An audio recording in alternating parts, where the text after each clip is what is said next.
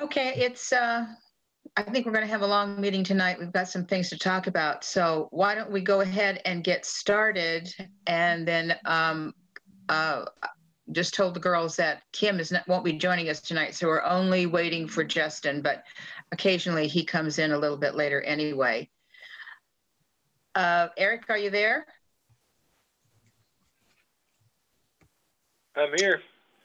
Okay, um, I'm wondering about? Anthony. Yes, I'm wondering about Anthony Tintera. Is he coming? We'll rearrange our agenda if he is. He doesn't appear to be here. Um, when I had talked to him, he said that he had another meeting that he would have to get to kind of maybe towards the end, depending on our timing, but he's not here right now, so I assume he's Right. not. We'll coming. just go on. Uh, If he shows up, um, sometimes I can't see all of the, um, you know, the visual part here of every member. So um, you'll let me know and we can, you know, kind of amend our agenda to fit his needs or whatever, depending upon where we are. Okay, our Town of Canandaigua Environmental Conservation Board meeting is now in session. And our first uh, order of business was to introduce a guest if he was coming, and this would be Mr. Pinto. Oh, whoops, we've got a flag. So our first order of business is our Pledge of Allegiance. Please join me in the pledge. I pledge allegiance allegiance to the flag of the United States of America and to the republic for which it stands, one nation, under God, indivisible, with liberty and justice for all. All right. For our neighbors to the north. yeah, right. Okay. And to them too. And one chorus of old, oh Canada. Yeah, right. Um, okay.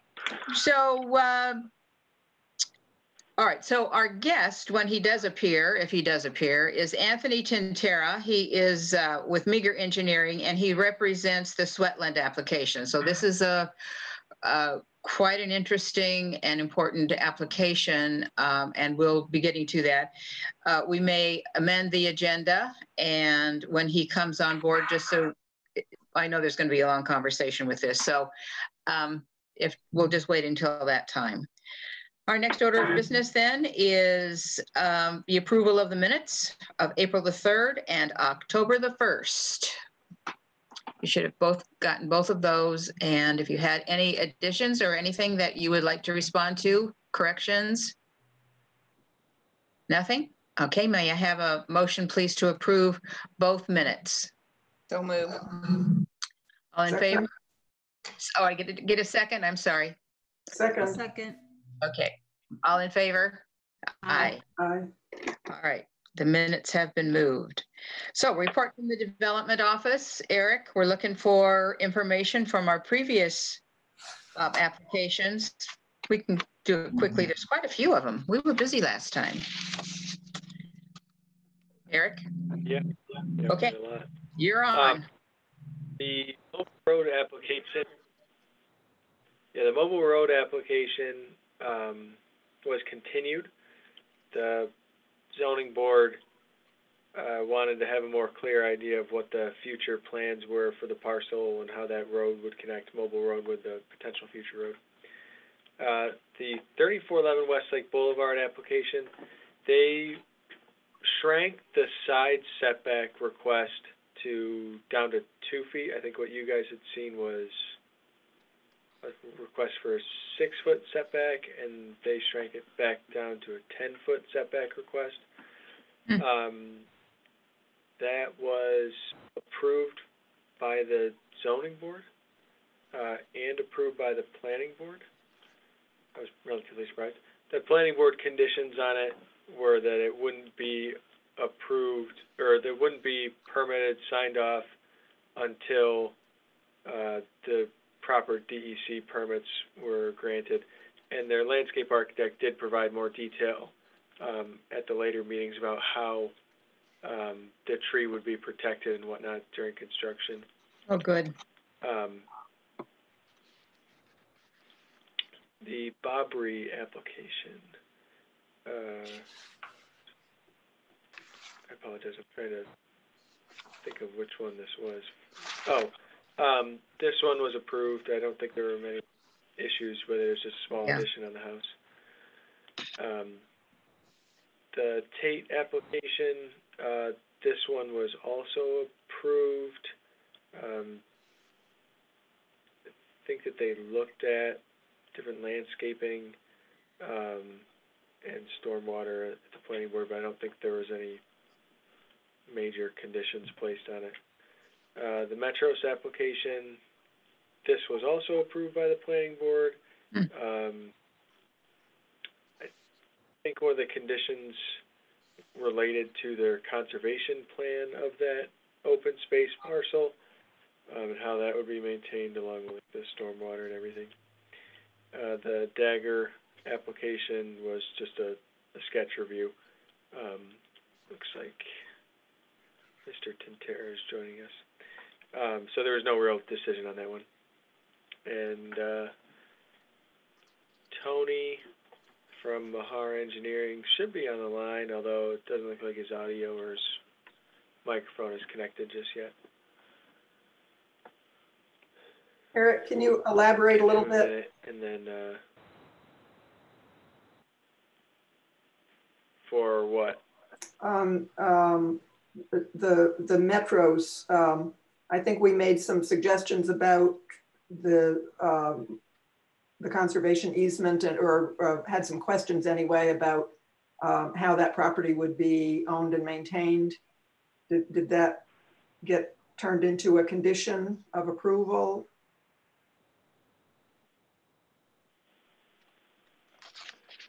So they have to create, um, I apologize, I, I'm, I wasn't at this meeting. John can maybe correct me where I'm wrong in any of this, but they do have, uh, that the management plan has to be approved, um, prior to it being signed. I know from reading the minutes, there was healthy discussion about how it would be maintained in the long run. So I it believe was there a, is- they're and it talking about was- like a- it's, and it was a separate parcel that had access to that, to the main road going in? Right. Is that how they did that? Okay, no, they didn't put it on the, Yep. put it into the um, tenth um, lot for the housing. Okay, that's good. A- And what about the Dagger one? Um, I mean, w- did they generally encourage that site plan or did they discourage it? What, what was the outcome?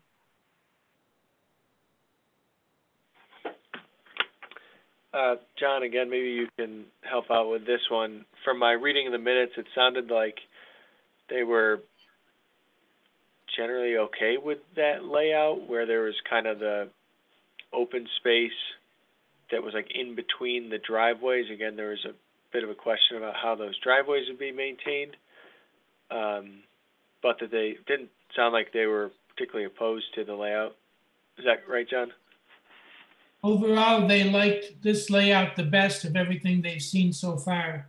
They just have to work out the uh, conservation areas because they're split up in so many different little spots. So they have to work that out. But overall, they like the, uh, it's only a few houses. It's only, a it's a dead end street with a cul-de-sac and the neighbors didn't have too much more to say about it. There's much less traffic and the, the board liked this one the best. And what about the conservation um, area, the woods, the 14 acres or whatever many acres it is of woods? Did they choose or did they mention or talk about, um, you know, parceling that off into its own parcel and, or, or how did they talk about that aspect of the application? The, the large piece is to be annexed to another property, and they, so far, it's not a conservation area. It's just a piece of property to be annexed to another property.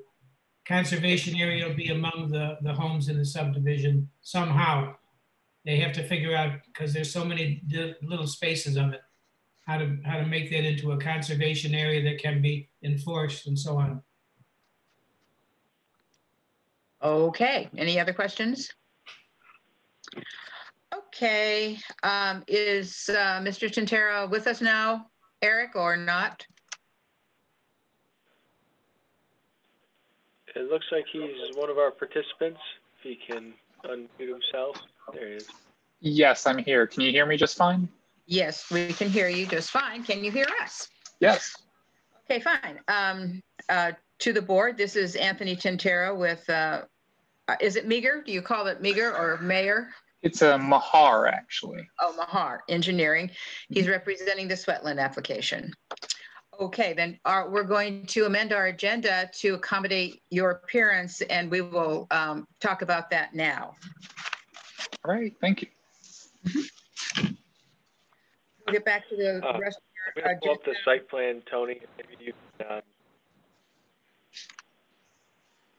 Yep, that's uh, it. uh, if you can walk us through what's being proposed.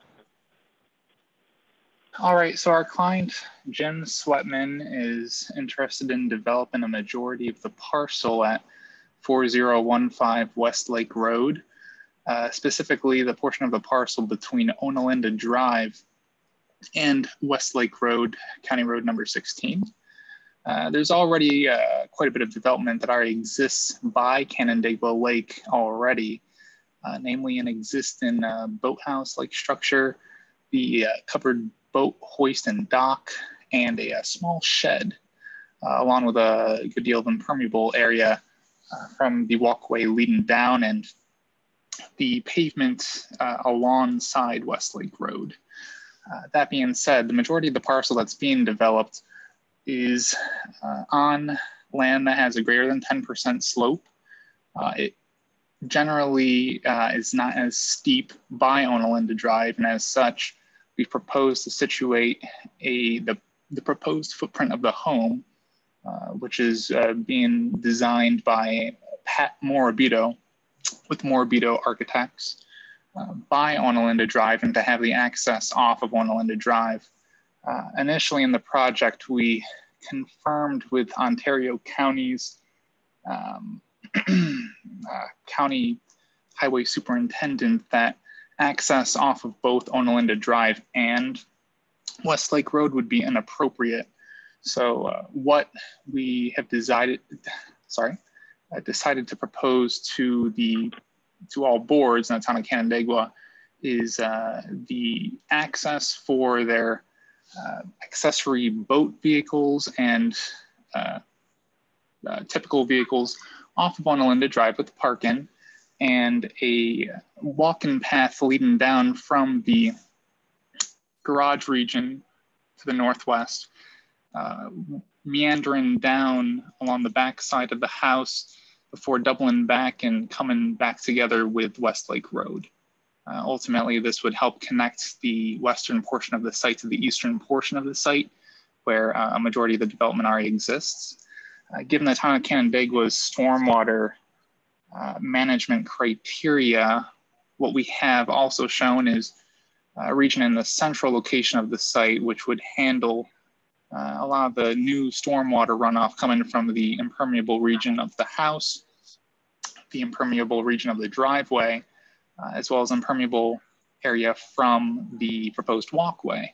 Uh, this infiltration practice is proposed uh, in that central location where uh, additionally there's a uh, lower patio area shown as well.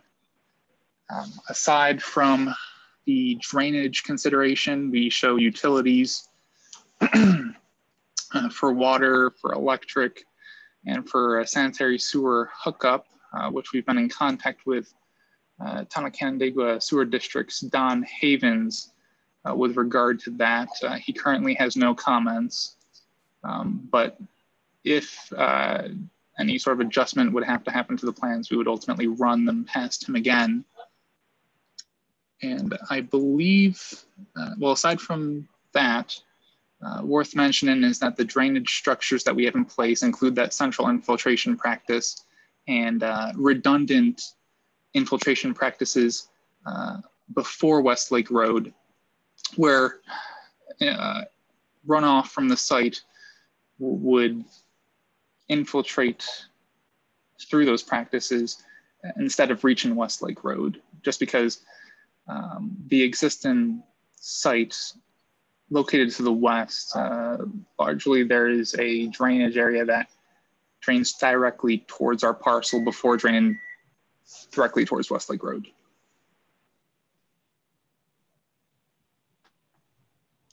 Okay. Uh, anything else, uh, Eric, that you'd like to add in, ex explanation of the application?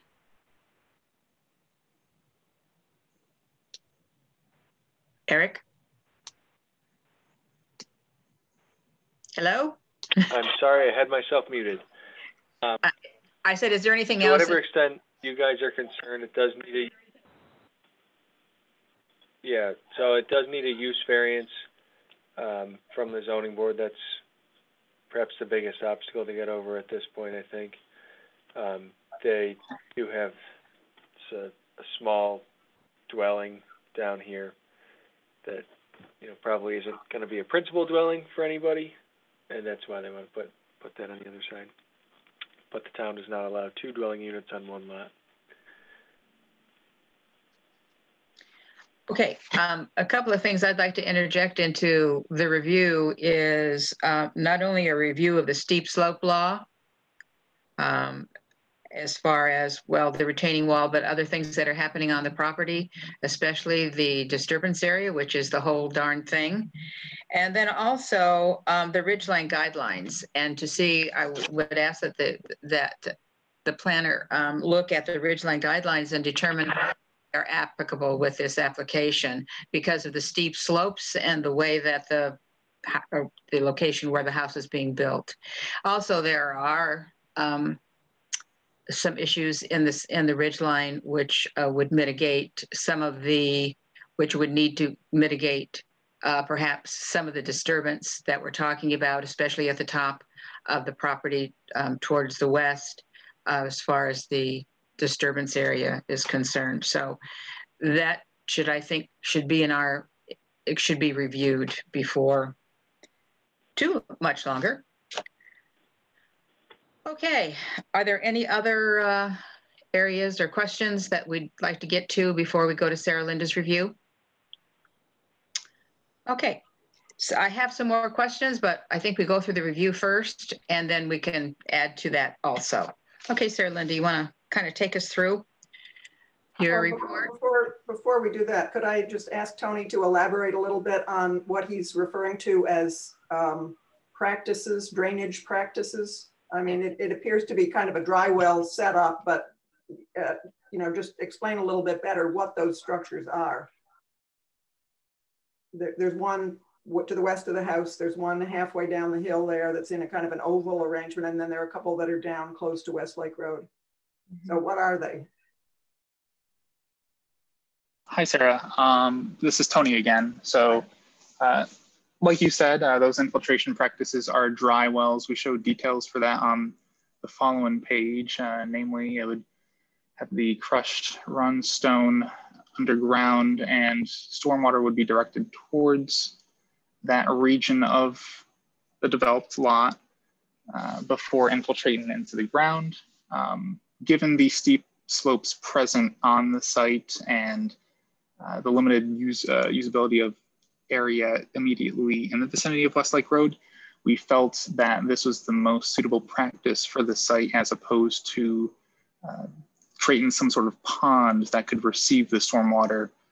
Um, that being said, we've designed the central and redundant roadside dry wells in order to hold back the one year storm per the town of Canandaigua's stormwater design criteria. And um, we permit the overflow of stormwater for worse storm events uh, further down the site into developed swales uh, where they would uh, still rely on those infiltration practices, but ultimately um, would overflow into the existing roadside swale in the event that uh, they could not be contained within those practices.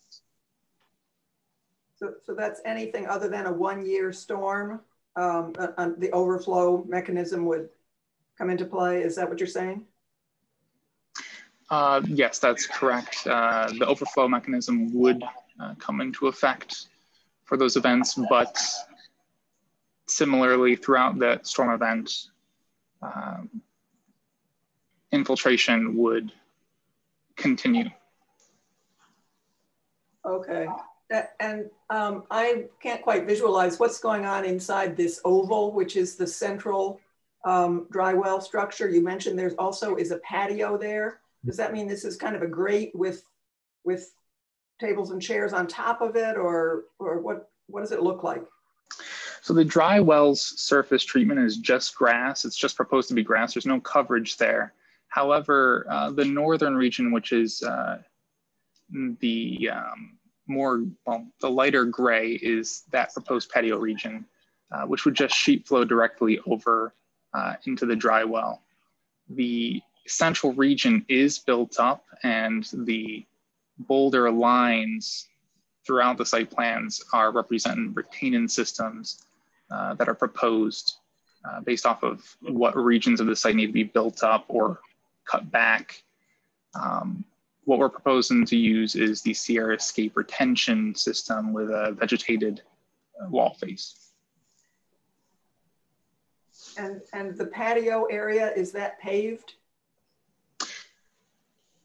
Yes, the patio area is paved and is considered in the impermeable uh, surface calcs, namely for lot coverage. So so it's an impervious surface. I mean, is it is it concrete? Um, It is uh, not explicitly called out in our site plan. Uh, it's just noted as patio area and is considered in the lot coverage calcs. Uh, as I said previously, though, the dry well region would have uh, grass surface treatment. okay. Thank you. Have you considered rain gardens in that? Would that be appropriate in that area instead of just the sheeting into grass? So, frankly, given the amount of runoff from the site and given how that portion of the site is frankly just steep coming towards Westlake Road, um, a rain garden really wouldn't provide sufficient capacity, we feel, uh, to hold back even the one year storm event. And hence why we have these uh, dry wells that are, say, five feet deep in the central region, uh, as well as in the regions by Westlake Road. Uh, the only other area I would say that could handle some of the stormwater runoff from the site would be uh, further to the west between Onalinda Drive and the proposed home, given how it is a flatter region. Uh, however, um, given how there is the off-site drainage area that drains directly towards our lot, um, Yeah, that's been a problem. re- realistically, um, if we were to direct, say, half of the house's runoff and the driveway's runoff towards a uh, pond of some kind in the western side of the site there, uh, its capacity would also uh, be dictated by the off-site drainage area that drains towards it as well. Um, I know that you are intending, or it it appears that you're intending to clear cut practically the lot, except for very small um, areas to the north and south. Um, uh, that's a concern for many reasons, and uh, maybe we should get into the report. Um, uh, I, I'll just bring up the walkway um, that you intend. What kind of surface will that be? And I think that in your plan, you say it's only four feet wide, but um, just wondering how you would, would attempt to do that and saving trees at the same time, or would you just be clear cutting and then put that in? Because you're going to run into some problems with some ridgeline um, guidelines uh, with uh, buffering uh, the view from the lake. Uh, so you might want to start thinking about keeping some of those larger trees um, and how you can mitigate just clear cutting everything. Okay, Sarah Linda, go ahead. Okay, well, um, I apologize for this review being a little on the long side, but um, I'll just go through and read it. Uh, and, and Eric, could you put up a, um, an aerial view here so that we can take a look at this site in the context of the other ones, um, either, either the Google street or the Google satellite view or Encore would, would do it. Sure.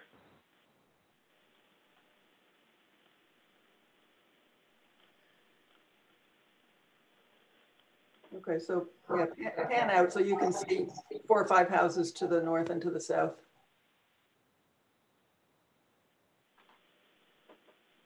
A little farther out. Yeah, okay, okay, that's good.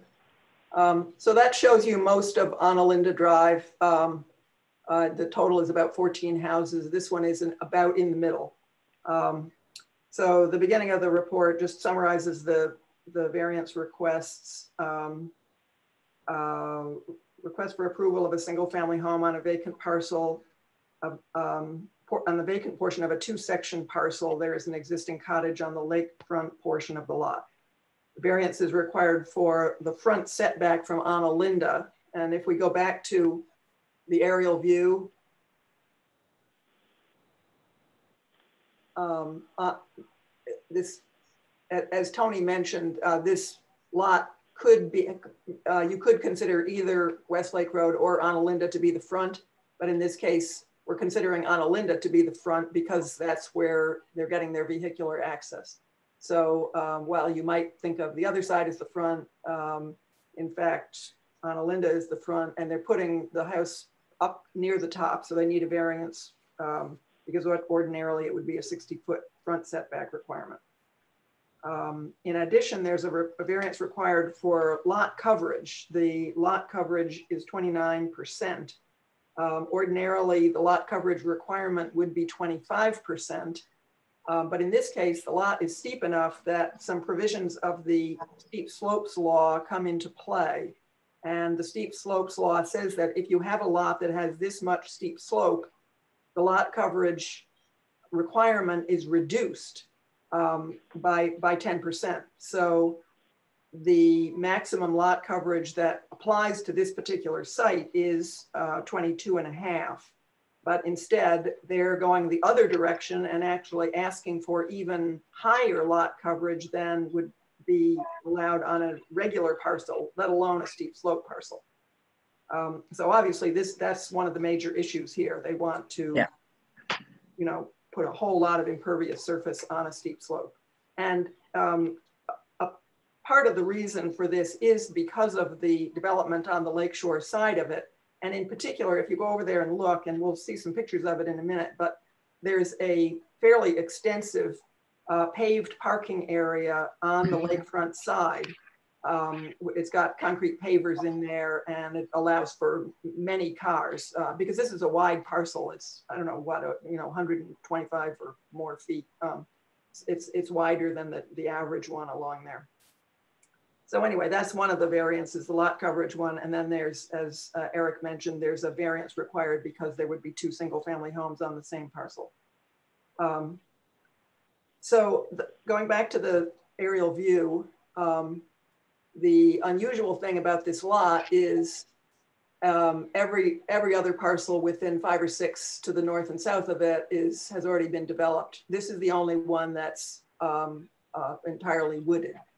And um, if we can look at the photographs, I'll sort of show you what that looks like. Um, I mean, first of all, you can see here, this is this is a wider than usual parcel. Um, and the it's not mature woods. It's woods that's probably just been unmowed for something like, you know, 25, 30, 35 years. So there's some fairly tall trees, but nothing uh, with a, a, a, big diameter. Um, uh, but it is a substantial kind of, um, you know, chunk of woods there in what's otherwise a fairly dense part of Westlake Road. So th this is looking down from Analinda Drive from the south. The next photograph, you can go down. Next one is looking uh, back towards the south and up from Analinda Drive. And then um, go down to the other side, looking up from Westlake Road. Uh, this is what it's like. So the other houses along West Westlake Road and along Analinda um, are sited closer to Westlake Road. And they tend to be oriented east-west rather than north-south, but they're not all that consistent. There, there isn't a consistent setback from from Westlake Road. There's a little bit of everything in through there. If you look at the next photograph, that shows this um, concrete paved parking area that I mentioned along the lakefront portion of it. And the, and then keep going. Um, you, th this is the small, um, it, it, technically it's a house. Um, I guess they think of it as a boathouse there. Um, um, it's, it's about a, a, a, little under 700 square foot building. So it's a cottage really. Um, and then there's, there are a couple of other structures there. Keep going, there's a, a roofed boathouse and then there's this shed building, which has probably got recreation equipment in it. Um, and the bank from, from their parking area up on Westlake Road down to lake level is quite a drop. It, uh, and the access down there is some very nice um, masonry steps and kind of boulders along the side. Um, and there are some mature trees in the bank and there's a lot of shrubs. It, it's very nicely landscaped down there. Uh, so this is, this is looking straight back towards the, um, towards the parcel from the lakefront portion of the lot. And then, is this the last photo?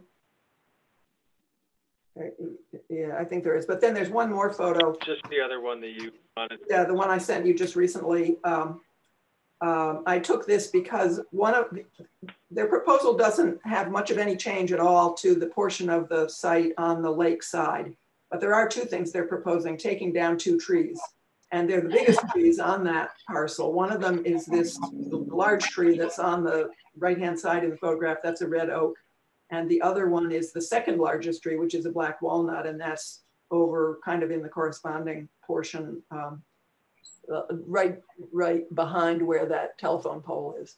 So those two trees are coming down. Um, there are still some other trees within that bank. As you can see, there are some kind of medium-sized uh, flowering trees in there, but the two biggest trees are coming down. There isn't any um, explanation of why that's happening, but I think it's a, just since the ECB is concerned with trees generally um, and concerned with the the loss of the wooded area upland, I, I think it's also worth, you know, thinking about, do we really have to lose those two very impressive trees on the lakefront side of the site? So um, back to the report. Uh, the proposal is to fully clear the entire upland portion of the site, except for a couple of narrow strips of vegetative buffer um, near the north and south edge. And that's not necessarily keeping the existing trees, but it could be just planting some new hedgerows or something along those lines. It's, it's not specified in a landscape plan to how they're going to do that, that vegetative buffer, but it's not a continuous one. Um, and then significant regrading is proposed to create the more gently sloped walking path um, yeah. to the east from the new house. And the variance application describes the need for that as a, um, uh, because the, of the desire for older members of the family to have easy access from the, from the new house up at the top of the hill down to the lake level um, property. And I'm, I'm kind of guessing that part of what they have in mind here is to create a path which is easy, which, which could be used with a golf cart. Um, but they don't want to have to go all the way around Linda Drive and back up Westlake Road in order to get from the house down, the upper house down to the lower house. So this is the um, solution that they've come up with, this sort of extended path. Uh, my concern about it is just that it requires an enormous amount of regrading of the site in order to achieve this um, uh, gently enough sloped path that you could do this with a, with a golf cart or you could do it without steps. Um, and uh, then the last comment is this lot is the last undeveloped parcel along among the 14 between Onalinda Drive and Westlake Road, the only one with extensive woods and is about double the width of many of the neighbors. The proposed house is oriented north-south across the full width of the site leaving minimal side yards. And that's that was one of the things that struck me about the site plan was this new house is, is very long and thin and it leaves almost no space beyond the required side setback on the two sides. And this is an area where there, as you know, there are drainage problems all Yeah. down on Alinda Drive. So this means if there's a drainage problem back here, there isn't anywhere for this uh, water to go except down these very narrow channels on either side of the site or spilling onto the neighbor's property, which is of course the problem that's happened up and down other parts of Onalinda Drive. So I think that's a potential concern. And they obviously have put a lot of, of time and effort into, into attempting to um, uh, create a drainage system that addresses that. Um, and I, I think it does address that, at least up to a one-year storm. But as you know, one-year storms be happening a lot more frequently than one-year storms, and so do 25-year storms. So if this is going to overflow with a one-year storm, just Yeah. imagine what might happen with a, you know, a, a- a serious uh, rain event. Um, so the environmental concerns on this, um, Joyce has already mentioned some of these. The near wholesale clearance of trees is unfortunate given the many environmental benefits of trees as outlined in the town's open space plan and the activities of the tree committee. Likewise, for the removal of the two largest trees from the lakefront portion of the lot. Um, the extended north-south orientation of the house with minimal side setbacks poses potential drainage problems for adjacent properties in the event the uphill dry well is overwhelmed in an extreme rainfall event. The steep slopes on the site have triggered a reduction in lot area, which would suggest a rigorous enforcement of the lot coverage standards. Yet the applicant requests a variance to allow even greater lot, lot coverage than would be permitted on a site without steep slopes. This appears to be a flagrant disregard for the town's policy for protecting lake water quality by limiting development on steep slope areas.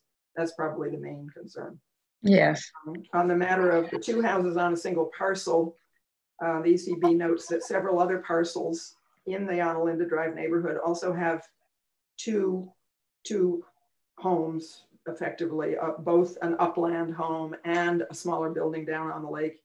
Um, there are also some cases where these, where the two portions of the lot have been separated and the lakefront lot has become a standalone parcel with a year-round home on it, or even a seasonal home. The owner has stated that his intent is to continue only seasonal use of the lakefront buildings and not maintain two year-round single-family homes on the parcel. However, that may be his intent, but that does not bind future owners. And the eventual conversion of the lakefront cottage to a year-round home seems almost inevitable. It could be a separate lot, it could be a rental, it could be family use, but the way things are going on the lake, if there's a Yeah. almost 700 square foot building on the lake, sooner or later, somebody's gonna wanna move into it. And I would suspect it's gonna be sooner rather than later. Um, so if that were to happen, this would amount to an undesirable increase in the residential density of the lakefront, which is exactly what the zoning board or ordinances are trying to discourage.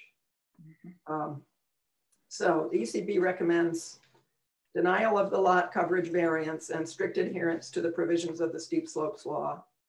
Um, the ECB encourages the applicant to reconsider the wholesale clearance of the trees and the regrading of the lot, including the regrading required for the pedestrian walk. Since access to the lakefront portion of the walk requires stairs anyway, the use of stairs in the steeper sections of the connecting walkway would be consistent and would allow for a reduced regrading and a shorter path and lower lot coverage. So, I mean, I'm sympathetic with the idea that these people want to take a golf cart from the house down to Westlake Road. But when you get down there, there's no way to take a golf cart down to the lake anyway. You're just on that concrete parking area. And then you've got to be able to walk down with a with down the steps with a walker or something like that. So it seems to me the same, you know, reasoning could be used for the portion of the for the walkway that goes from the main house down to the road. They can make make it down the steps down to the lake, they can make it down the steps to um, uh, from, from the main house to Westlake Road. And if they can't make it down steps, then they got to drive, or they've got to take their golf cart or, or around the around down to the end of An- Onalinda Drive. Um, so that's my take on it anyway. Um, ECB recommends reconsideration of the tree removals in the lakefront area or replacement with new native trees that will play a similar role in meeting the goals of the town's shoreline guidelines. That is, other trees that will achieve that same stature uh, uh, over time. Over And time is the problem, of course. I'm sorry, say that. I said over, the, the whole problem is that it will take a long time for Yeah. those trees. Those trees are probably what's holding that, that slope in place. Yeah. Tree roots that Yeah. size are, are keeping that bank up above that, that secondary house. Yeah, yeah, Yeah. I, I think those, I think those trees are a great thing. Um, They need to plant a few more before these get too old and die is what they need to do and leave these in place. You've got about 10 years on tree roots until they rot and then things start to fall apart. And in 10 years, a, a new sapling is not going to hold what this one is. I think we should add that to the recommendations regarding this, some, a little bit of information here regarding exactly why we think that those trees should remain. It's because of the soil erosion at, uh, aspect here and the impact that, the safety impact that it's going to have on that 700 square foot uh, building at the, at the bottom of that slope.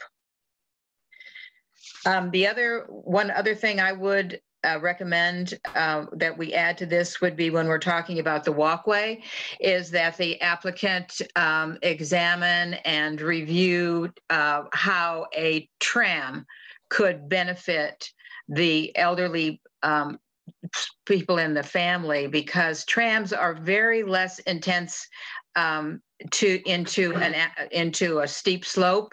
There's there's no grading. It's just you know it's very very in a non-invasive kind of of development, and it could easily be accounted for. It could easily be run down the one side and then you know come down and to the wherever you would want you know down to the bottom to um, County Road 16 and then a little walkway to match up to the, you know, across the walkway there. So there are options, I think, that maybe um, the owner needs uh, to look at as far, and keep in mind that we're talking about environmental protection here of water quality, stormwater management, and soil erosion, all those different things. Not only you're talking about scenic views from the lake, and this is why I bring up the ridgeline guidelines, because there are um, buffering aspects of that law which could impact this application.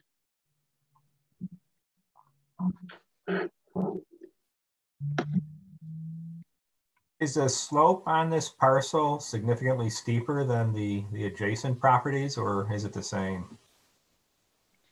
There, according to our summer report, um, there are fifty-three percent of the lot is sixty to thirty percent slope. Fourteen percent of the lot is thirty-one to sixty percent steep slope.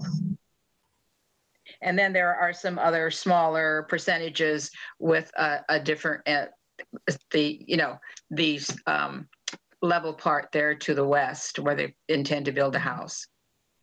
As far as that um, dry well in the middle of the property with the steps leading down to it and the patio there, there is a lot of patio space on the deck that the applicant is, um, you know, proposing. Um, I'm really, do we need to have that interference in that particular area? Is it absolutely necessary? It doesn't appear that that, that it appears that there could be some mitigation in that way. And I think it would be appropriate.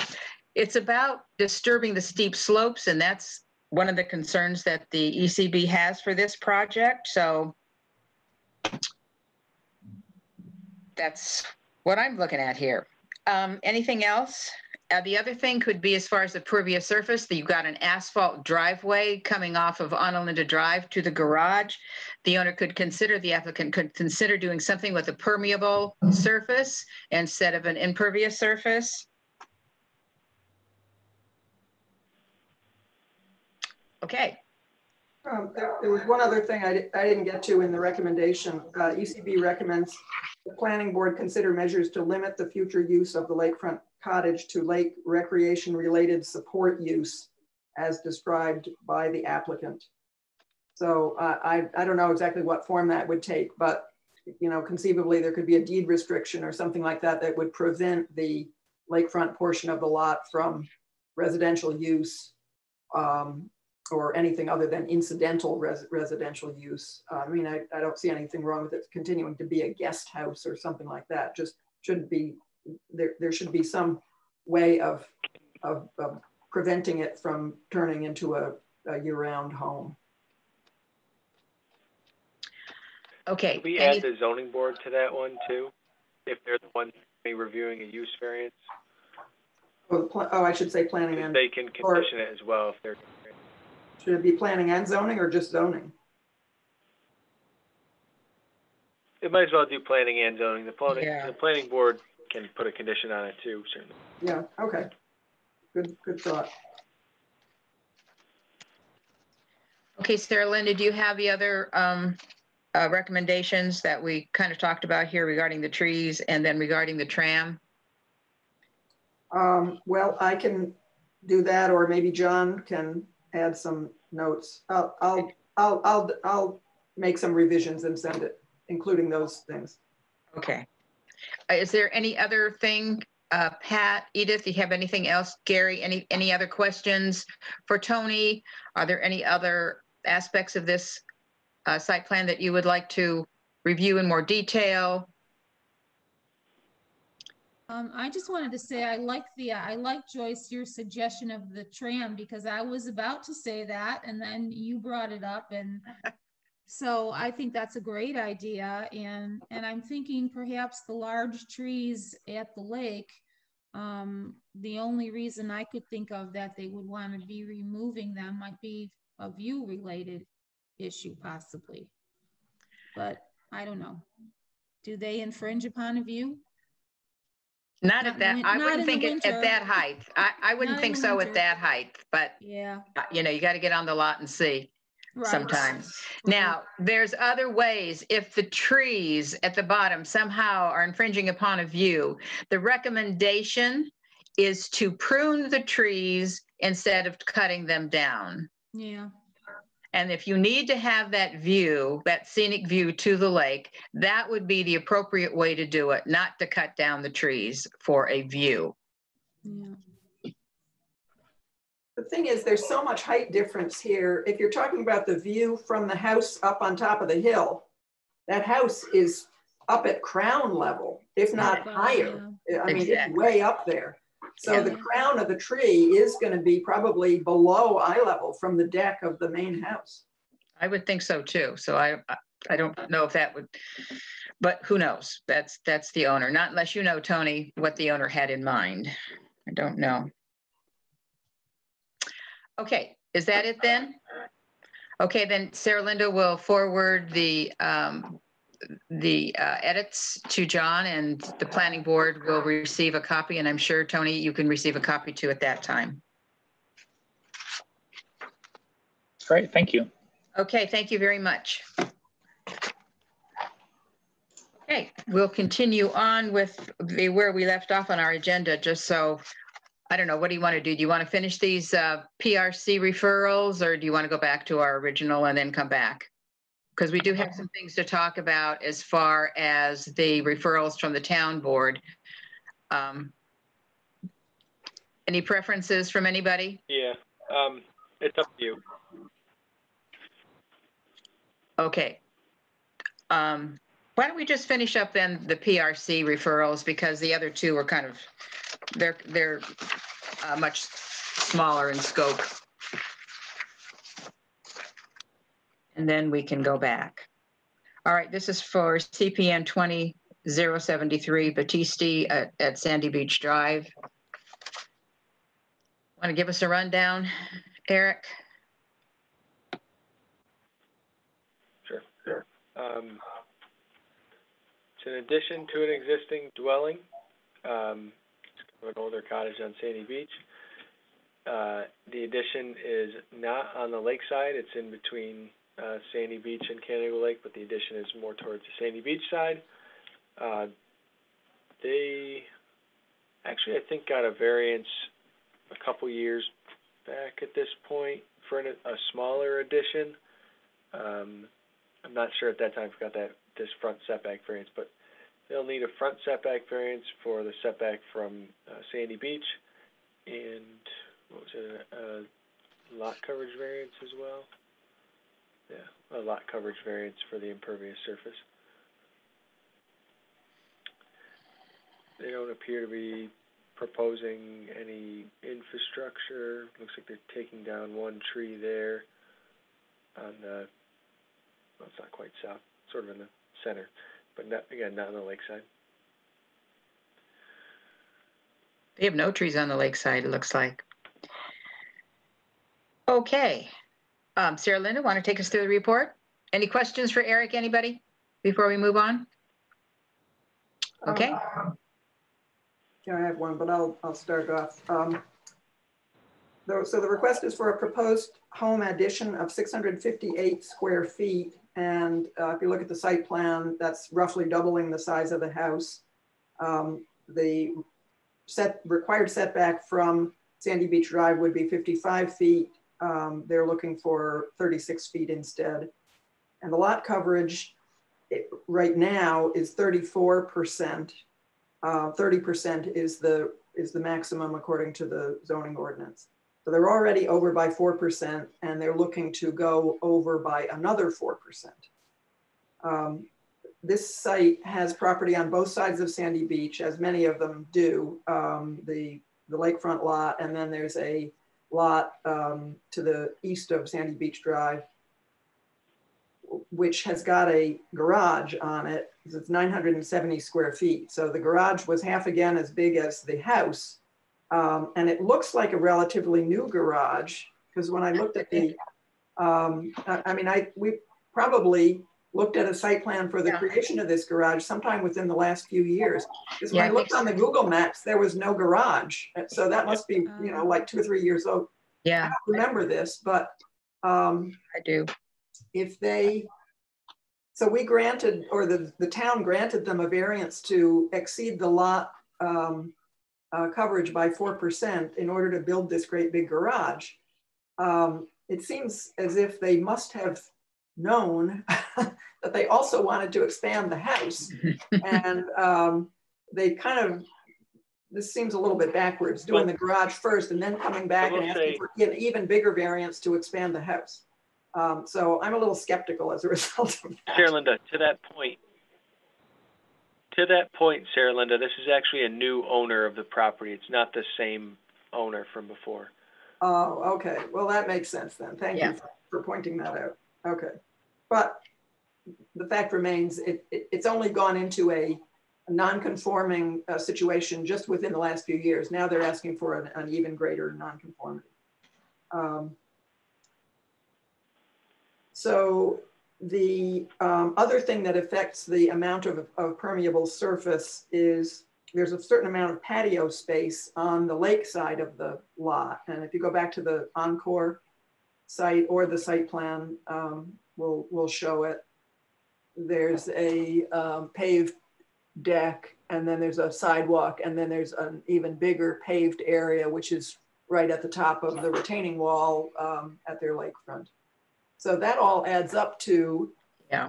um, 818 feet of patio space. That there's more paved patio space, and this is not even counting the driveway, but there's a lot of patio space.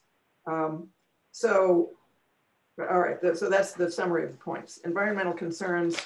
Sandy Bottom Drive and Fallbrook Park have the town's most dense lakefront development with small lots originally created for small seasonal cottages. Over the years, most of the cottages have been winterized and enlarged or replaced with larger year-round homes. This site is one of the few remaining structures retaining the size, massing, and visual character of the original cottages of the 1920s and 30s. However, the proposed addition is reasonably compatible with the character of the existing home, and at least they're not tearing it down. Um, the town's zoning law does not reflect the small lot sizes of Fallbrook Park, Sandy Bottom neighborhood. Um, so variances are required anytime the owners want to follow the ongoing trends towards ever higher lot coverage. Uh, many variances have been granted over the years, suggesting that the town is not serious about maintaining its site development standards for this neighborhood. Um, and that you can see from the way, you know, the way they describe their uh, rationale for the variances. Well, everybody else has gotten variances. All my neighbors have at least this much lot coverage, so why can't I? Um, so I've, my um, uh, feeling about this Sandy Bottom and Fallbrook Park is that uh, the ordinance committee ought to, you know, look at this and not treat these this neighborhood the same way they treat other neighborhoods, which have larger lot sizes and which therefore um, uh, have a different character. Many, but anyway, here's the draft recommendation. ECB does not support further expansion of the lot coverage for this site, particularly because one lot coverage variances variance has already been granted in the recent past and increases in impervious surface near the lake add to the long-term degradation of lake water quality. We suggest that the applicant modify the proposal to maintain or lower the lot coverage by removal of a portion of the impermeable patio area. So, you know, they could they could eliminate the patios and they wouldn't have to have this variance. Um, not all the patios, but a portion of it. ECB also suggests the ordinance committee consider changes to the zoning and or site development standards to better address the site planning issues related to the Fallbrook Park Sandy Bottom Drive neighborhood, especially front yard setback and lot coverage, with the intent of creating reasonable standards that the ZBA is willing and able to consistently uphold. Yeah, that's a very good point. I think we've been talking about that for, for a while. Can, can I ask that um, that recommendation be, you know, you can include it in here, that's fine, but also in like the other board business section to kind of put it within the minutes there, and then I'll I'll give it to the ordinance committee or whatever as like a more formal request, anyways, to look at it. Hey, John, could you do that for us, please? Yeah, will do. Okay, Can I make you, a Eric. quick comment? sure. I actually have something to say this time.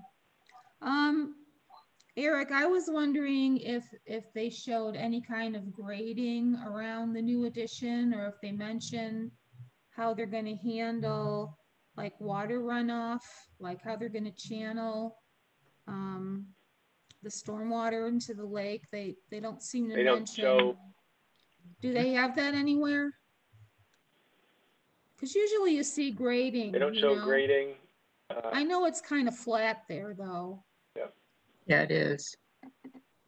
But did they make mention of like the stormwater runoff from the new addition? Like into gutters or under, underground don't. or anything like that? It's probably a, a very I don't know if uh, it's in pertinent note, but it's not concern. shown on it. And maybe we should add that, that there is no way that, uh, that it appears that they have understood what the runoff from the rain gutters will do. Yeah, because oftentimes we, you know, we see some kind of underground systems. Maybe there's a note True. in there I missed though. Let's see. Storm sewer shall No. Be modified for a new footprint of driveway. Okay, I don't- Look I at don't know number if that really answers the question, but maybe it does. I don't know. but it's something for the planning board to take a look at because we don't see it on the site plan. Yeah, So that, that's a good concern. I mean, that's appropriate concern. I'm wondering, since this is in the floodplain, if our floodplain manager, I didn't see any um, kind of uh, comments from him. Um, Eric, did, did our CEO give us anything regarding anything about the drainage and No, I guess- whatever? He- Sometimes he chimes in. He provided comments about the, uh, let me pull them up here real quick. Um, okay. So what he said, well, one, we need the Venezia survey. Um, existing dwelling has a crawl space located flood elevation. Since there's substantial improve, improvements, detail how you're gonna meet the code elevation, you know, two feet above the flood elevation with both the addition and the existing dwelling. Hmm. Okay, so we need to be concerned about drainage here, I think. And I'm sure that um, Chris will take a look at that. But if we could just put it in our remarks, that would be great.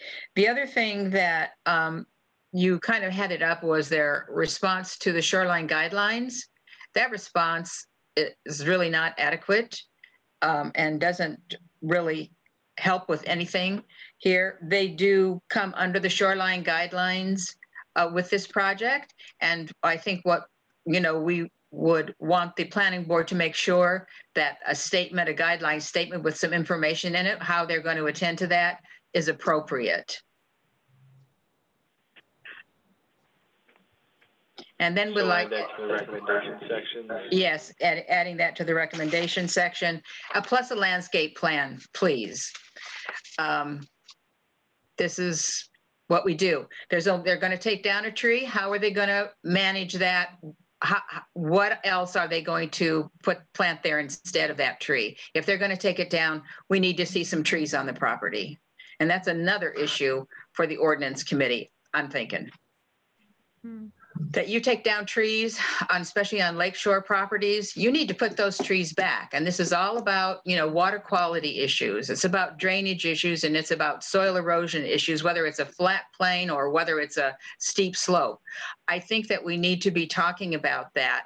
Um, just, uh, Eric, from the, from the aspect of the climate warming that we have been talking about today, that you and I have been talking about in the comprehensive plan um, we need to get serious about climate warming strategies. And those strategies are all natural resource protection management strategies. And so when we can have some uh, leverage, if you will, uh, for planting more trees, then we need to do that because tree canopies are going to be a very, very important aspect of this, of our global warming, you know, if, as we move forward.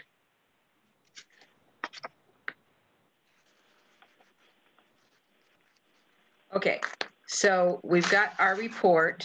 Eh, I don't know who is, who is going to um, do the edits for the recommendations for this project. Was that you again, Saralinda, or Eric, were you taking notes on this too? I, I took some notes. I'll, I'll try to do that. Uh, no, I haven't. Okay, all right. I, I thought from what you said that you, uh, look- sounded like you might be. Okay, that'll be great. Uh, And then we'll get those to the planning board and the zoning board. Okay, any more questions? All right, going on to CPN 20076 Krebs at Sandy Beach Drive once again.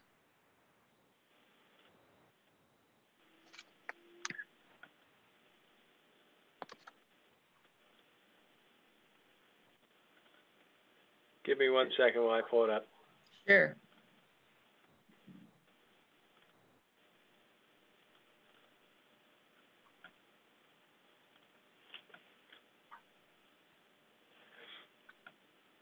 Um, so, again, Sandy Beach Drive, just up the street.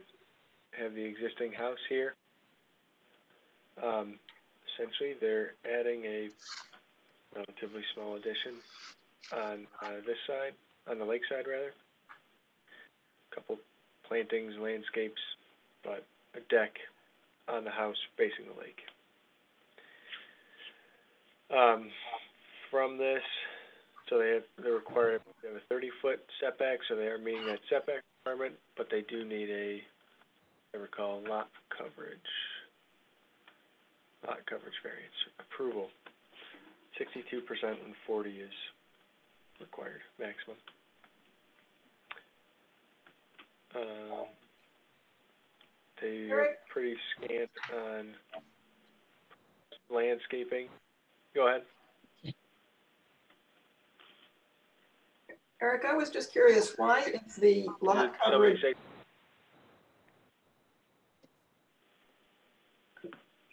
uh, uh, I'm sorry, Eric, um, can you explain why the lot coverage requirement is forty percent on this lot, whereas it's thirty percent on the one that's just down the street? Good catch. Well, maybe that has Wait, to the one down the street something. was, The one we just talked about. yeah, it might have to do a lot. I think the other one was like twelve thousand square feet.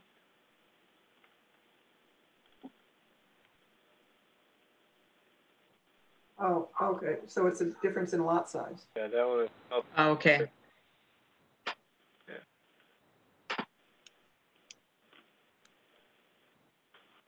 um, oh yeah.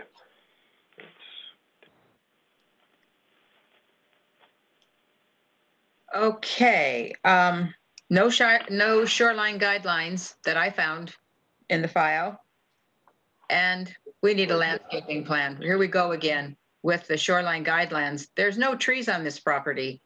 Um, from this, anyway, I don't know, did I, if we need to see if there are or not. I don't know if they actually indicated trees on the site plan.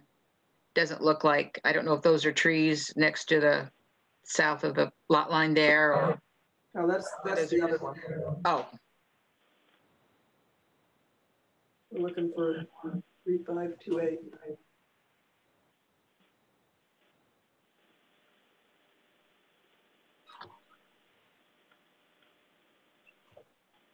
okay, so, There's trees. yeah, there's trees, okay. But Laura, lakes, Can, can you get it like an oblique? Is that possible? Yeah, what? An oblique shot? Is there like a better angle of the property? Just to see the trees. is that it right, right in front of us or? That doesn't look like it because that Um, doesn't look like there's two trees on either side of the house. close. That was three five. That was three five one six.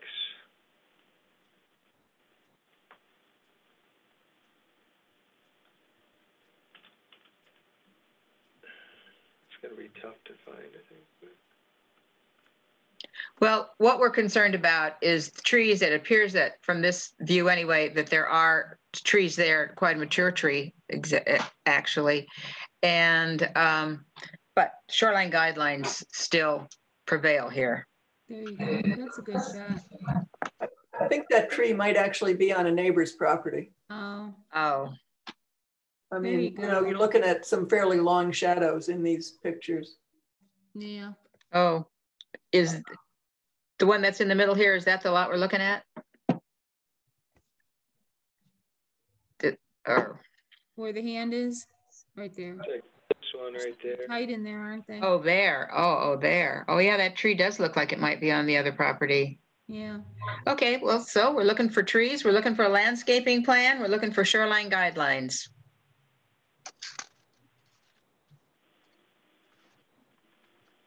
Okay, any other questions for Eric before we go into our draft advisory report? Okay, Saralinda?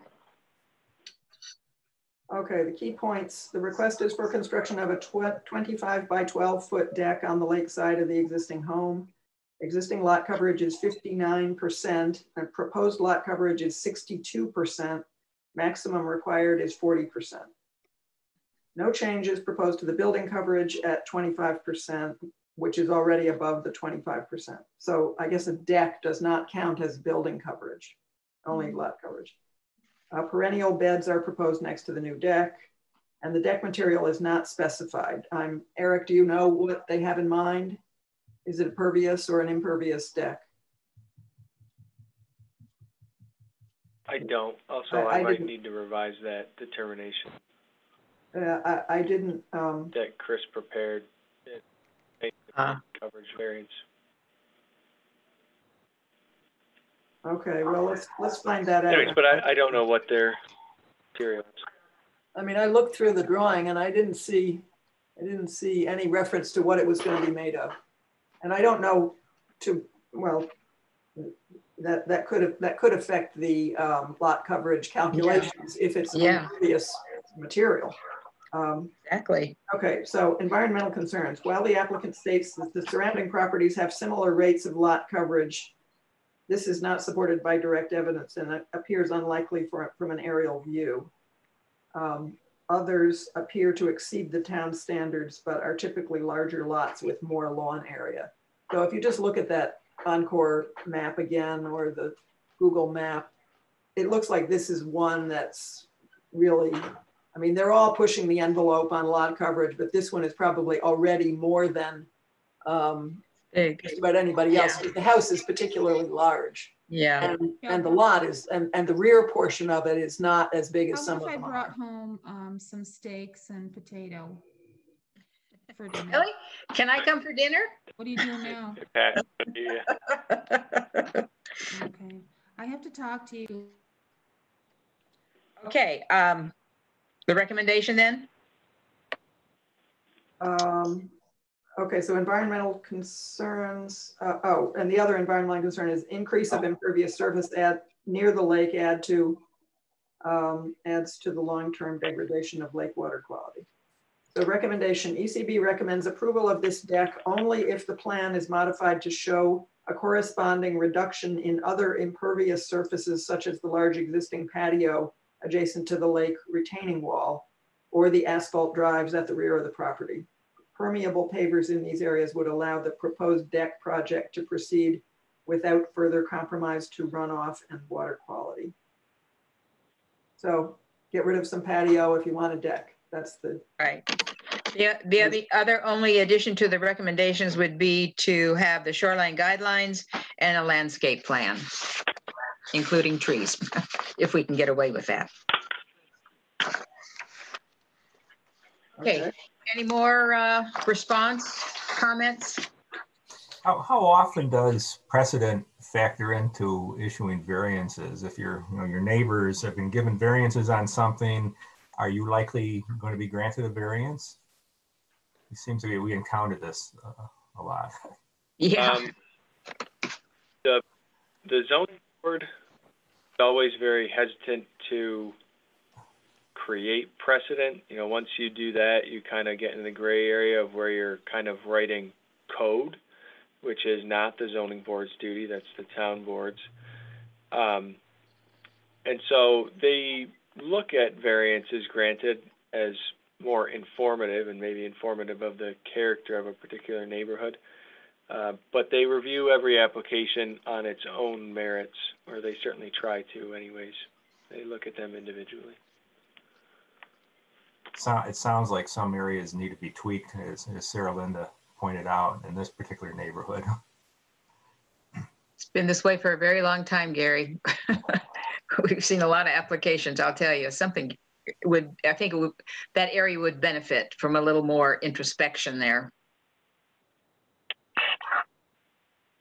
You know, the reason that they say, uh, they hope that the zoning board, or rather that the zoning code brings lots more into conformance over a long enough timeline.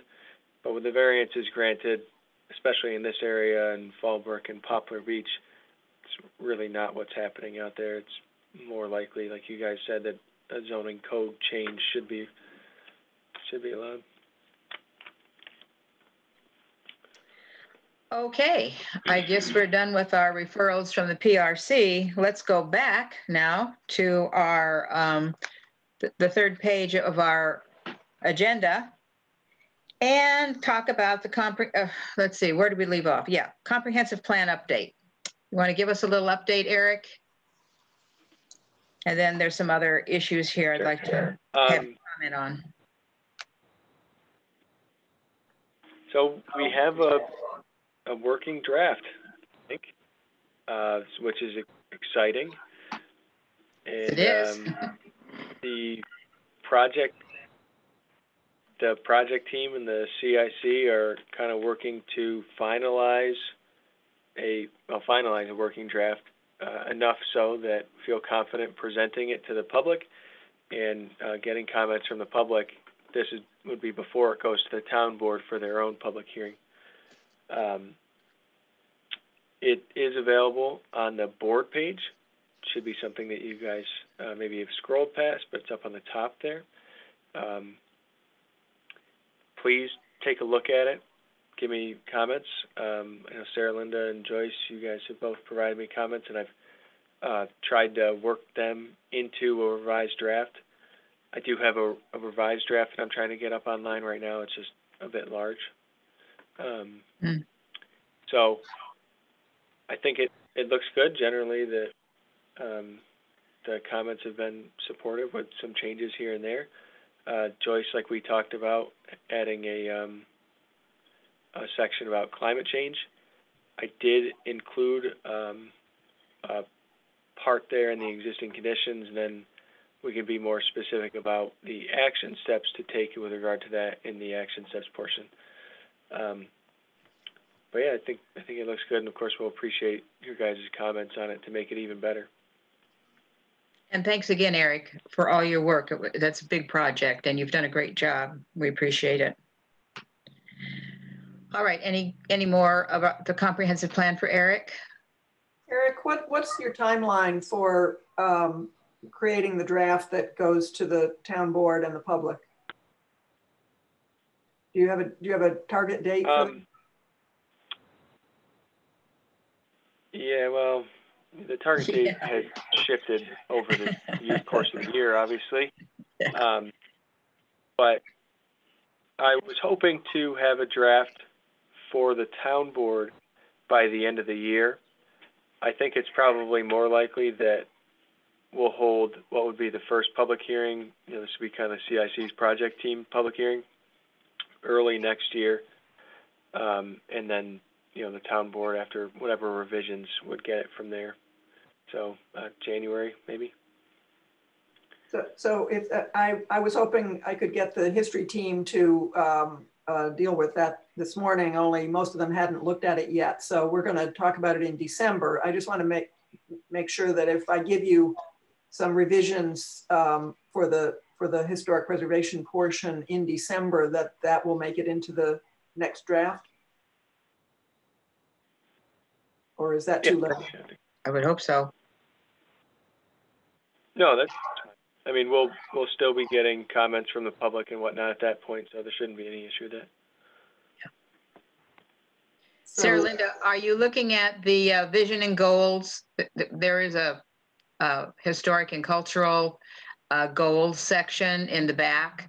Yeah, Uh, that's what I, that's, that's what I want to get them to provide some um, Yes, some feedback. That would be great. comment on. Yeah. Okay. Okay, Eric, could you please uh, give us just a little bit of update um, regarding, from the ordinance committee regarding uh, the wetlands uh, review and uh, presentation that you had from Colin Deal? What was the, what was the main Um, there? grab and- my notes here. Okay, um, basically, Colin Deal, um, had come to the NRI team, um, as we were working with the NRI update. And, um, he gave us a little presentation on, uh, some of the things that, uh, could be going on with water quality issues. And then, um, there was, then after that, subsequently after that, um, there was, the EPA then redid some of their, um, regulations regarding wetlands. And so Colin called and, uh, wondered if we would be interested in having some kind of presentation. Eric said, yes, the ordinance committee would love to hear what he had to say. And so Colin Deal did go to the ordinance committee and, um, presented, I, I have a, a, um, it is a uh, code from another town regarding their wetland, new wetlands code. Um, We don't know what kinds of protections we're going to be having with our wetlands and now that the federal um, regulatory regulations have changed. So this is about um, protecting that resource.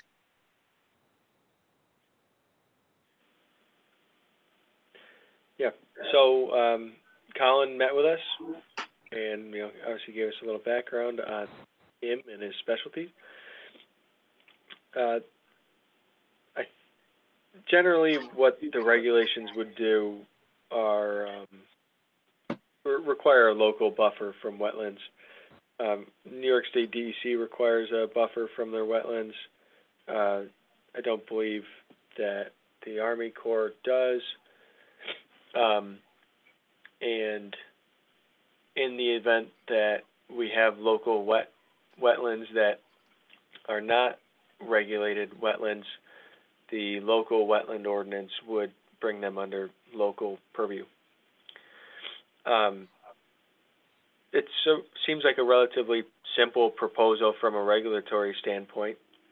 Um, the big the big hurdle and uh, something that the ordinance committee kind of keyed in on and what what we need to look into is the cost of doing that um, GIS work to get an idea of where those local wetlands are.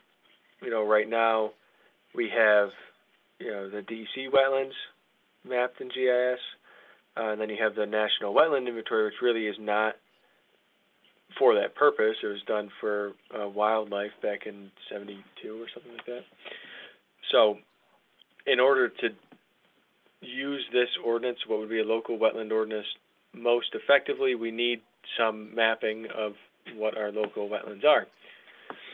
Um, so the ordinance committee and the couple town board members there were curious, not necessarily concerned, but curious of what the costs were, and then of course you have to, or we would probably look into grants to see uh, what might be available. Um, there's a question about how extensive or how what the extent of local wetlands might be. Um, you know, what's the cost benefit of doing this type of thing? If there aren't any local wetlands, then, you know, having an ordinance for that reason wouldn't make sense. There probably are, I'm sure that there are. But, you know, measuring out cost benefit to that effect, um, somebody was wondering whether the local regulations have held up in court. Um, I wouldn't be, it wouldn't surprise me if they, they had. I don't see why they wouldn't. Um, there was another question of uh, making sure real estate transactions. This is, you know, um, kind of an interesting question, but you know, to make sure that people who purchase property and you know want to develop on it are blindsided by our local wetland ordinance. Um, you know, as a potential lawsuit, I suppose uh, for potential takings. But you know, if we have a, a local regulation, I don't see why it would be similar to um, other ones. Anyways, I don't think that the ordinance committee was opposed. Really, I think that they were generally in support of it. Just the big thing is the the mapping and cost on that. Yeah, that will be, that will be an issue. Um, it's possible that this kind of, uh, charting that, uh, the NRI, um, we'll be talking about that in a minute regarding, um, the implementation of the priorities, um, as mentioned in the NRI. Um, uh, mentioned some, those technical kinds of updates, and this, we could include the wetlands in, in that if we, if we chose to.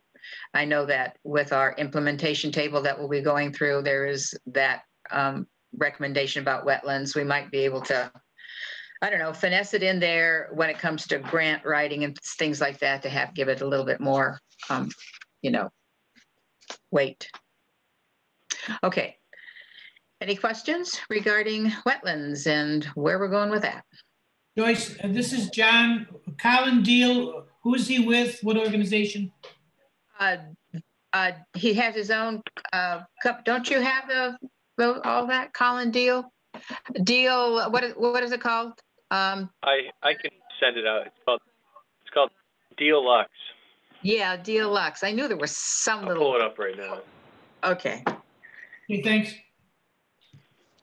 Okay. Referrals from the town board, public hearing on the text code amendment regulation of off-street parking. Um, does anybody have any questions for, uh, Eric regarding that text code?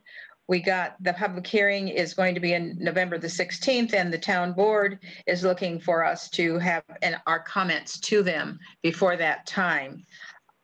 Ha- I'm just assuming that you've all read the off-street parking and do you have any comments or anything that you would like to um, say about that?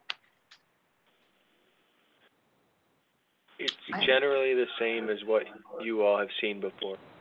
Yeah, we did see that before and we probably didn't have very many comments. I only have two comments for this one. And one is, is the landscaping um, requirements included in this code? I didn't see them. I didn't know if la- the landscaping was in a different code entirely.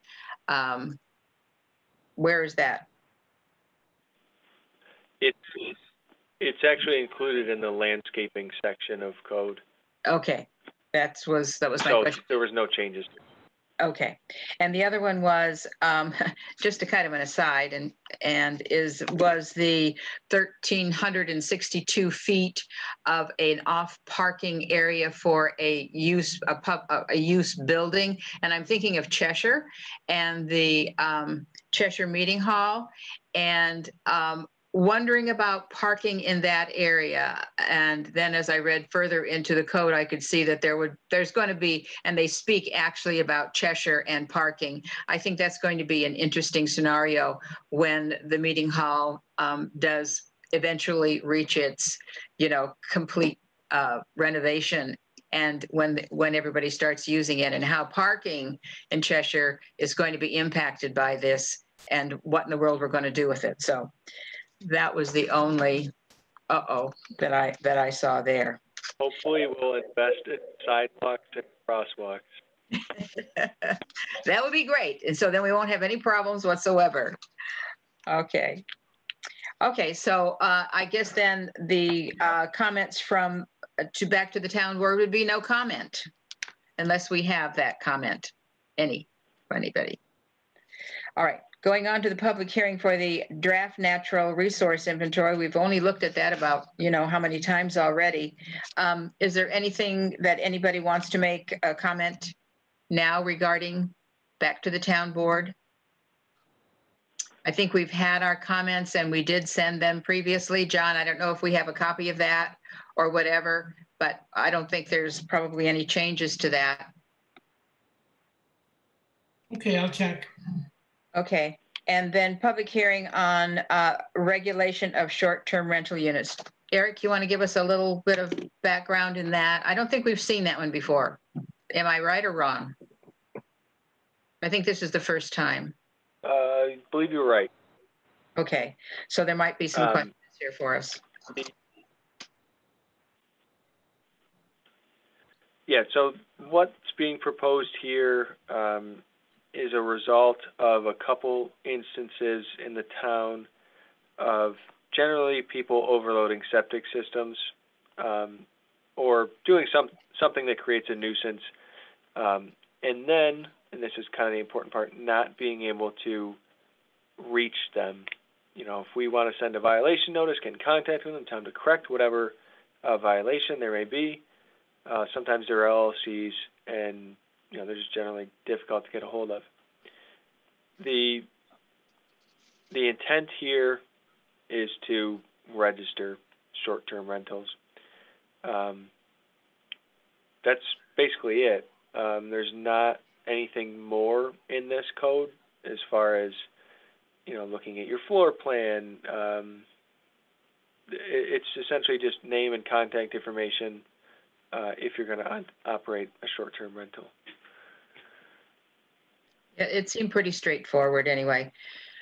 Uh, Does anybody have any comments or questions they want to ask Eric regarding this?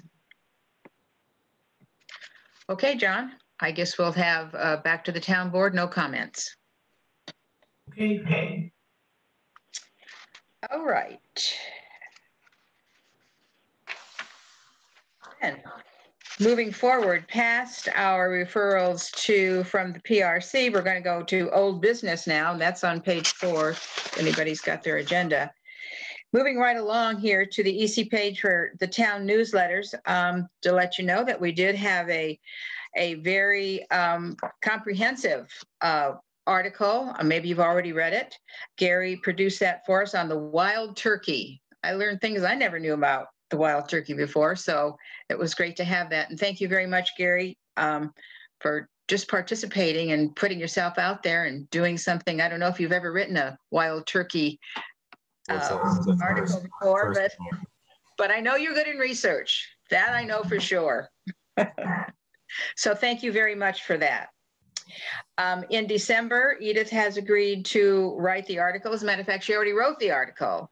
And uh, I'll be sending that off as soon as uh, in the appropriate time for the next publication. And that's uh, tracking your wildlife neighbors. And that's about the tracking little footprints in the, in the snow kind of thing. And it's a very lively um, article also.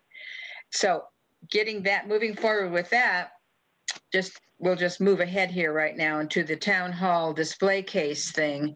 Um, Yes, I should have that uh, probably finished by Tuesday next week. wow, really? have it Done.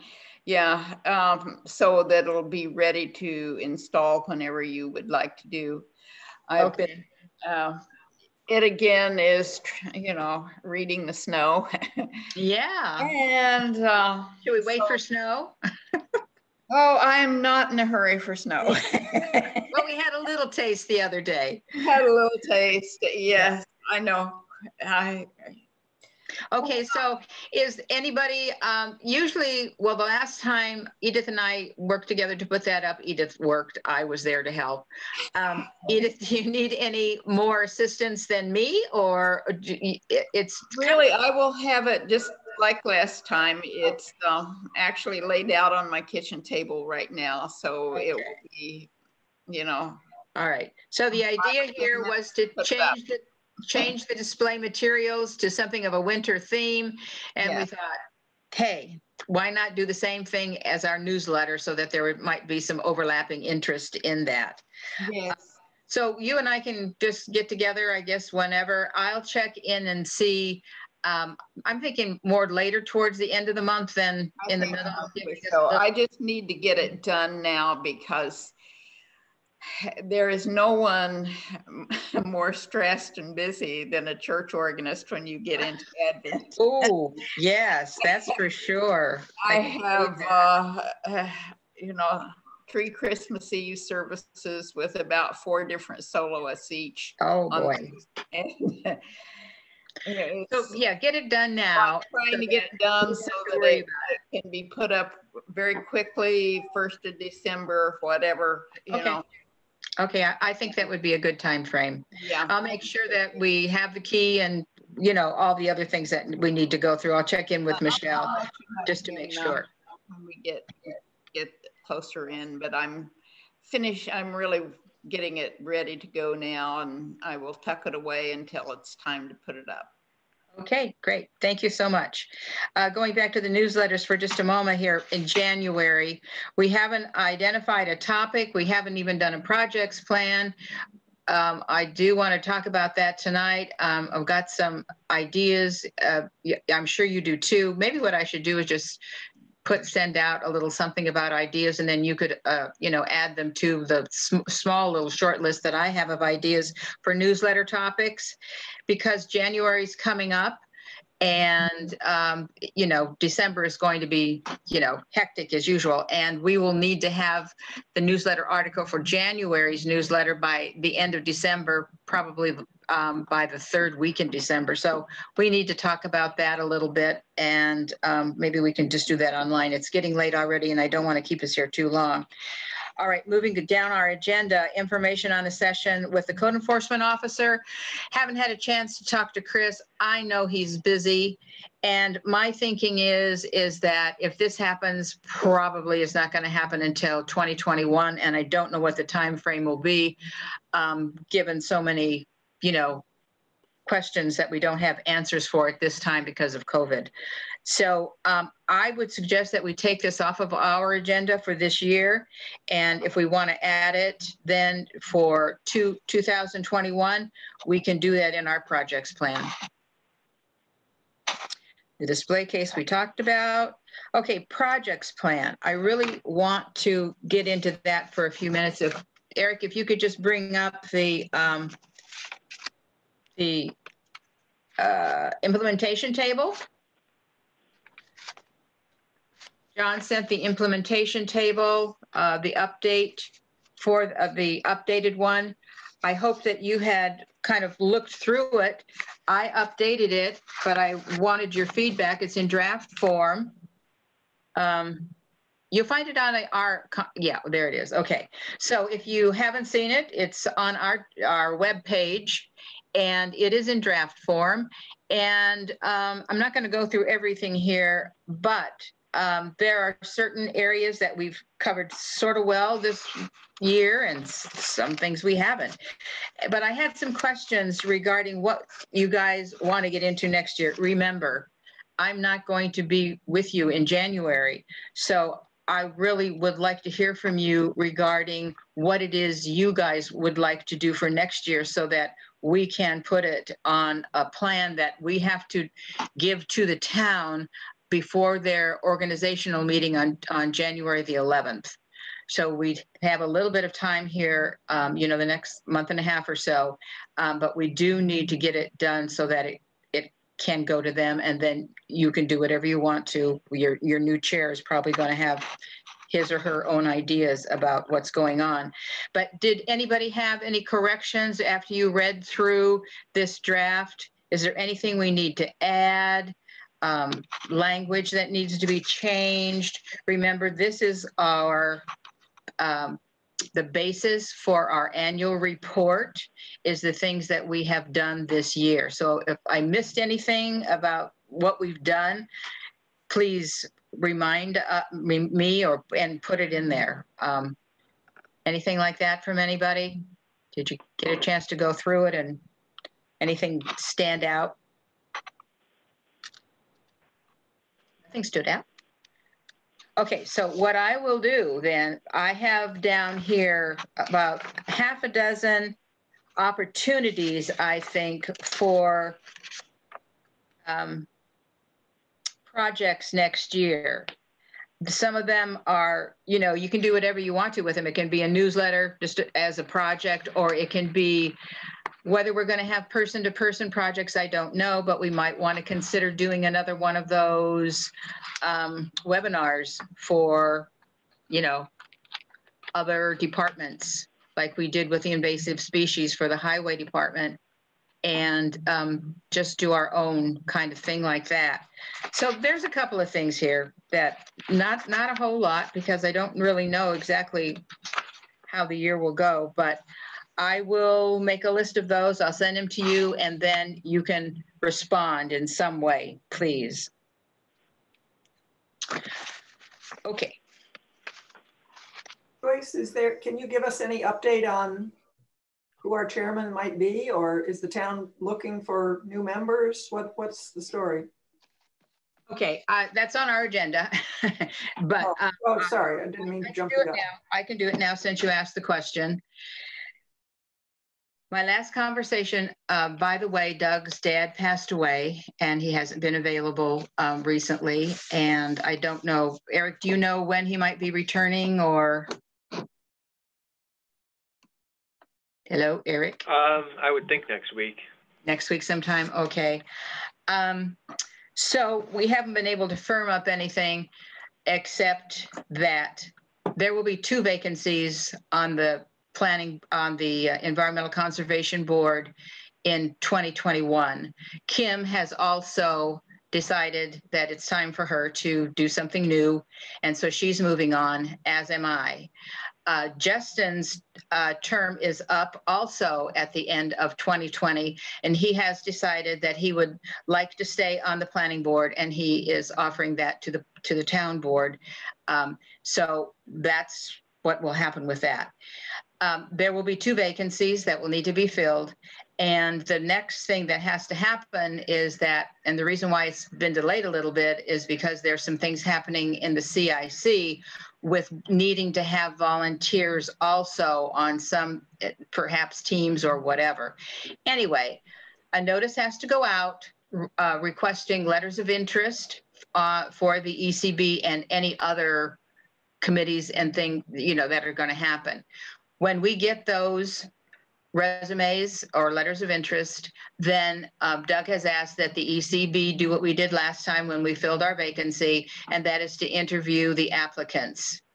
So in order for us or for you guys or, you know, for the ECB to have a chair and to fill that other vacancy, by their organizational meeting, which is January the 11th.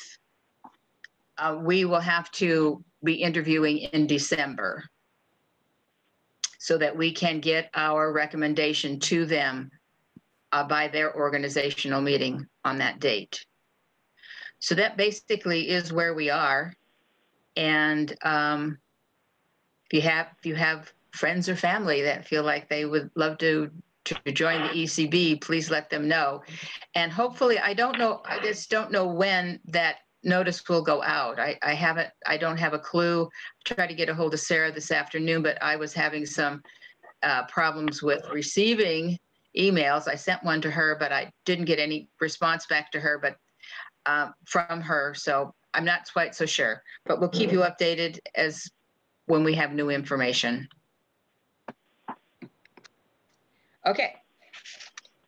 So the projects plan, we're gonna, I'm gonna put that something together. I'm gonna send it out to you and you can add, subtract, say I don't like it. But remember, these are your ideas for next year. Um, that's the way that'll work. And the other thing we'll send out is a newsletter like we did last year. Everybody participated in, uh, you know, presenting a, a newsletter article. And so we have this little, uh, you know, uh, schedule. So we'll put out one of those and you can sign up for that. And at least we're going to keep the ball rolling as far as long as we can here. All right. Um, moving right along here, the adoption of the natural resource inventory, um, like our um, referral today from the town board, their um, public hearing is going to be November the 16th. So hopefully that will all take place. Once that takes place and it is adopted, then we're going to have a training that we have always wanted, uh, which will help us to understand, um, you know, how we can use this new NRI to develop our advisory reports so that Saralinda can get some relief. I'm sure she'd appreciate, yay, I know she's raising her hands, yay, yay, yay. Okay. Um, and um, I'll also include in the projects plan the priorities from the NRI, and we can decide if we want to do any of those or not. There, some of these are very quick and wouldn't take us very much time to do it all. Um, identifying locations of abandoned wells. I know Edith told us that Soil and Water has this information already, so it's just making a phone call and. Not all of it, but some of it. Yeah. Okay.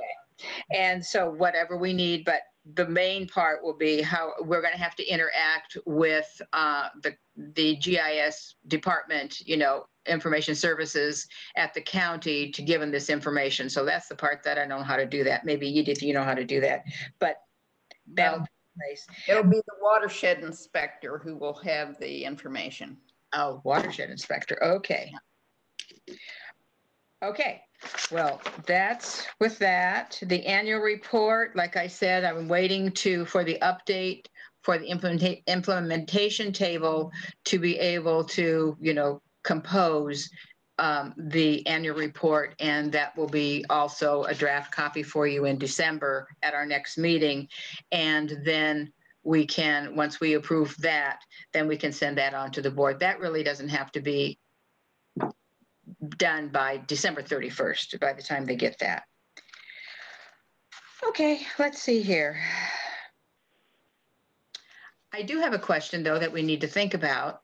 And I wanted to check in with Doug before I really asked this question, but it's because I think he holds the answer for us. But Remember when the last couple of years, at the end of the year, the town always had some unexpended funds?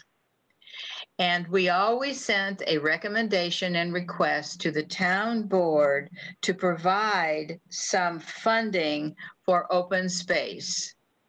This year, I don't know what in the world, um, I would imagine we don't have any unexpended funds, so I don't think that's going to be an option for us to make that recommendation because it is one of the criteria in the implement, implement, implementation table for us to be on top of that so that we keep making sure that there are, you know, commitments to the open space capital funds. So we'll get that information from him, see what he has to say about it. Maybe this year that's not an option for us, but maybe we'll think of something else. I, I don't know. Uh, for those of you who need to finish up your training credits, um, you will have to have those done by the end of the year. Um, they must be completed by 1231. And here is an option for you. The, let me find it here. Forecasters of Watershed Health, Birds of the Canandaigua Lake Watershed. It's a webinar on November the 11th. Um, it's sponsored by the CLWA, the Watershed Association. It's at 11 o'clock. And I think, is it on our agenda, Tom? I mean, uh, John? Yes, it's on the agenda, page five. Okay, I thought it was, but then I didn't know for sure. Um, anyway, that, I don't know how many, how long it's going to be, but at least, you know, you can get a credit and a half or two credits. I know that some of you don't even, don't need them, but some of you do. Just making that um, kind of, um, you know, remark. I signed up for it, even though I don't need the credits. It looked really interesting. And John, I've already signed up for it too. I want to know what that's all. I bet you Saralinda already has too. Okay, well, we are almost at the end of our time here, but I do want to go to the member reports. And um, just to let you know, and the environmental, and environmental committee um, that I was on, I have also relieved myself of that responsibility, so I'm no longer on that uh, team and our natural resource, so we can take that off of our agenda and the natural resource inventory updates. Um, I think we can take that off our agenda too. That team has, has been, you know, disbanded. So the uh, CIC, the Citizens Implementation Committee representatives, Pat, is there anything there that you would like to um, let the board know what's been happening there We were starting, the last meeting, we were starting our uh, goals, speaking about our upcoming goals. And uh, I'm not sure how many of them, there might be a dozen. um, But we were focusing on the first four. Those were which the goals for- Agriculture. Those uh, were the comprehensive plan goals, yeah, Yeah, that the we're reviewing. comprehensive Plans, visions, and goals. We decided to all uh, read them over and see if we had any further input. Um, The first one we were talking about was agriculture, and the next one was natural environment. And I believe we're gonna focus on the next two, uh, cultural and historic resources and parks and recreation. There's So- 11 of them. We're just reviewing them um, individually to see if we have further comments. So that's the work of the CIC Yeah. right now. Okay, local history team? Sarah Linda, what's going on? Uh, Nothing much new to report. Nothing? Well, you are gonna, aren't you gonna be looking at the comprehensive plan? We just looked at the cultural and and historic things, so it's, Mhm. it's in the wakes now. Yes, we're, we're going to do that at the December meeting. Okay. Okay, town uh, tree board. Gary, Edith, um, did you go? What's yes, happening? I did. Dennis Brewer and I and Dan Madison, Marion? Marion, sorry. I should have my notes. I can have a heck of a time with this name. We toured Outhouse Park, the grounds around the town hall, and Blue Heron Park, examining the trees and seeing what the conditions were.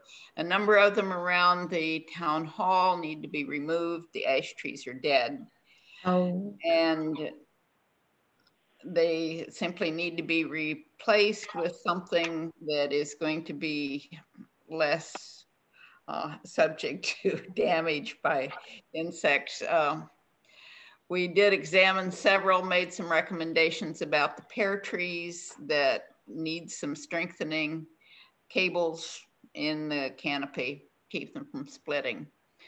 Outhouse Park, we uh, looked at some cultural practices there. Many, most of the trees and shrubs had been surrounded by very heavy grade plastic covered with uh, mulch. And the plastic has been very tight around the trunk of the trees. The trees are Oh, swelling boy. of it. There were girdling Oh, roots. no. Yes. I'm so uh, glad you guys are looking at these trees. It's just, oh, it's just such a pity that they've just been not looked at for so long, from the very Well, beginning, really. Ran to his pickup to get a knife. Yeah, plastic away from the emergency surgery. Yeah. I was very distressed. It, it was distressing. The tree, Yeah. you know, the one we were looking at first, the trunk was splitting because it was swelling up above this plastic. Hmm. The ground beneath the plastic was completely dry, even though it had been raining. Um, I did go back to Outhouse Park today, and apparently the report was shared because the plastic has been removed Oh, good. on quite a number of them. As you know, the death there has been horrendous. Yeah. Um, possibly there is plow pan below the uh, surface there since this was ag field for a long time and the soil Mm. is fairly clay. So um, time will tell whether this is going to be, you know, it is floodplain for Sucker Brook also. Yeah. Right. So there are some things, some species that probably shouldn't be planted there because they suffer from both drought and inundation. Well, I'm so glad that we have a tree board who is on top of these things. I'm a, I can sleep easier at night now. Yes, well, And thank you for participating and, and lending and we did recommend watering during dry periods. The watering at Miller Park has been a huge problem. They did have the gator bags that were Mhm. supposed to drip, but they were not filled this year. Oh. Oh. I think personnel, um, you know, we don't, we haven't had a full complement this year. I mean, I, you know, it's probably what's going to suffer those kinds of labors. It's far more cost effective to water the trees you have planted than to have to replace them. Yeah, it's true. In about a year, you see the effects of non-watering. It, Yeah. They don't look so bad the first year, but they die the second. Yeah. So that went into the report and uh, Well, good. And you can read these reports. Oh, do you have a, do you have a page yet or a, on the website, Tree Board? I don't think so. I don't think so either. I haven't seen one yet. I think the report was supposed to be given to the CIC, but Uh, I don't remember that. I type, I write it up and give it to Dennis and to Dan and Yeah. Chair, so he, he is the one who sits it. I don't know. Well, thank you for the information and keeping us abreast of what's going on with our trees in the town. We're trying. Okay, uh, that is the end of our Just agenda. briefly, can, Oh, sure. I was just gonna talk about the, uh, conservation subdivision ordinance.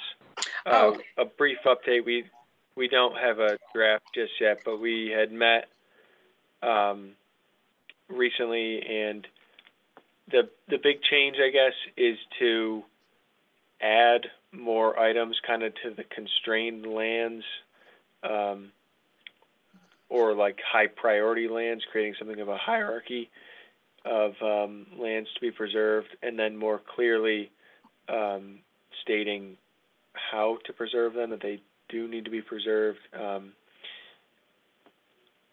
that's Hmm. really it so far. Um, I think the next meeting and what um, Barb will have for us then is maybe a bit more substantial.